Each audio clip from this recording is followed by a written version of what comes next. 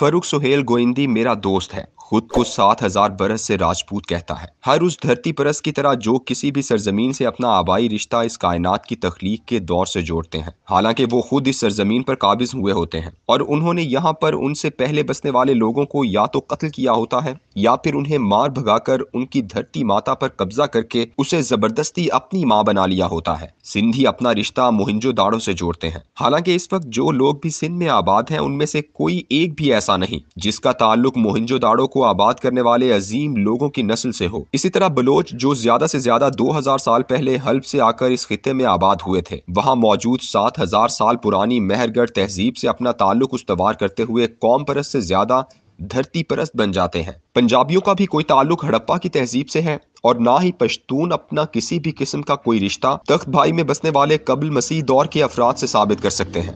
होता यह है कि हर नस्ल के लोगों को रहने, खाने, पीने या घर बनाने के लिए एक ज़मीन चाहिए होती है। ऐसी ज़मीन जो उन्हें पीने के लिए पानी फराहम करे और उनके जानवरों के लिए घास, उन्हें जहाँ पर भी इन दो वसाइल से माला माल सरजमीन मिल जाती है, ये उस पर काबिज हो जाते हैं या वहाँ पर पहले से आबाद लोगों को मार भगाते हैं और उसे अपना वतन पुकारने लगते हैं। ये वतन, ये धरती, ये माता, इन सब अल्फाज से इंसानों का रिश्ता हमेशा इंतहाई कमज़ोर रहा है। जब कभी इस धरती माँ ने इंसानों के लिए पीने का पानी और जानवरों के लिए घास उगाना बंद की है। इस धरती माँ के बेटों ने ऐसी खुश्क साल माँ को खैर बात कहा, जिसके सोते खुश्क हो गए थे। और किसी दूसरे की माँ को फतह करने चल निकले। आज के जदीद तरक्की याफ्ता दौर में भी कोई शख्स इस धरती माता के साथ कहत, बीमारी, जलजले, तूफ़ान, आफत यहाँ तक के बेरोजगारी में भी नहीं रहा। जरा परेशान हुआ तो अपना सामान सर पर लादा और किसी दूसरी धरती के समत रखते सफ़र बाँध लिया। अगर नई सरजमीन पर कामयाब हो गया, गलबा हासिल कर लिया तो फिर उसी धरती को अपनी माँ बना लिया। लेकिन अगर वहाँ कमज़ोर सी अकलीत में ज़िंदगी गुजारता रहा। अल्लाह का शुक्र है की फरूख सुहेल गोइंदी का सरगोदा अभी तक सरसब्ज है और उसे मुस्तकिल हिजरत नहीं नहीं करना पड़ी। इसीलिए वो उसे सात हज़ार साल पुराना वतन कहता है। हालाँकि महकमा आसार कदीमा वालों ने इस खत्े में किसी भी किस्म के कदीम तहजीबी आसार अभी तक नहीं ढूंढे।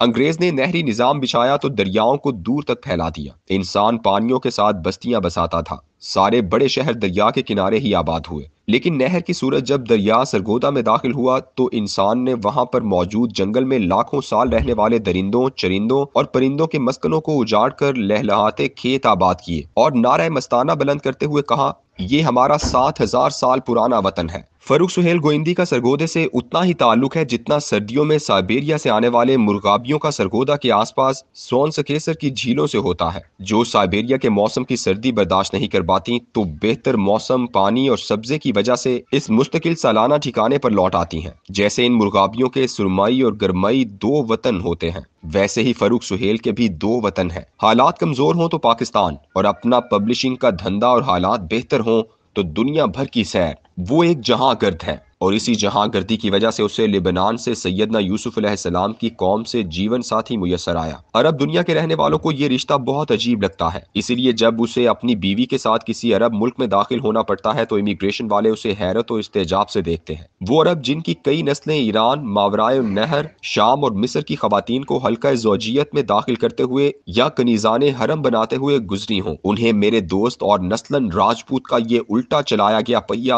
अच्छा नहीं लगता। गोइंदी अहद जवानी से सियासतदान चला आ रहा है। लेकिन पाकिस्तानी सियासत की सरमाया दराना बसीरत व बसारत से तंग आकर उसने किताबें छापना शुरू की और इस कौम पर यह एहसान किया कि बड़ी बड़ी किताबों के उर्दू में तराजिम शाया किए नोम चॉम्स्की की तमाम कुतुब उसने शाया भी की और उसे दयानतदारी से रॉयल्टी भी दी। उसने शेख मुजीबुर रहमान के कातिल मेजर दालीम की किताब शाया की। इसलिए वो दुनिया भर में बेधड़क जा सकता है। लेकिन बांग्लादेश में नहीं जाता। कि कहीं पकड़कर हुक्मरान ये ना पूछ लें कि कहाँ है दालीम, और उसे यकीन है कि पाकिस्तान से उसे कोई छुड़ाने नहीं आएगा। गोइंदी ने किताबें छापी ही नहीं, बल्कि लिखी भी हैं, और वो बहुत खूबसूरत लिखता है। ना सिर्फ़ ये कि वो नसर अच्छी लिखता है, बल्कि उसकी किताबों का हर सफ़ा आप पर मालूम का एक जहान खोल देता है। इस जहाँ गर्द ने अपना पहला सफ़रनामा मैं हूँ जहाँ गर्द के नाम से तहरीर किया है। ये सफ़र तीन ममालिक का है। ईरान, तुर्की और बल्गारिया। तीनों ममालिक अपने कल्चर, तहजीब और सियासी निज़ाम के हिसाब से बिल्कुल अलग है। फरूख सुहेल गोइंदी का ये सफरनामा आम सफरनामों की तरह गाड़ियों, कश्तियों, दुकानों कहवा खानों और राह चलती महबूबाओं की दास्तानों वाला सफरनामा नहीं, बल्कि उसके हर सफ़े पर तारीख के नुकूश जड़ाव, मोतियों की तरह जुड़े हुए हैं। ईरान और तुर्की के सफरनामे तो आपको जा बजा मिल जाएँगे, लेकिन बल्गारिया के मुल्क से हमारे अक्सर सफरनामा निगार यूरोप जाते हुए बस खामोशी से ही गुजर जाया करते थे।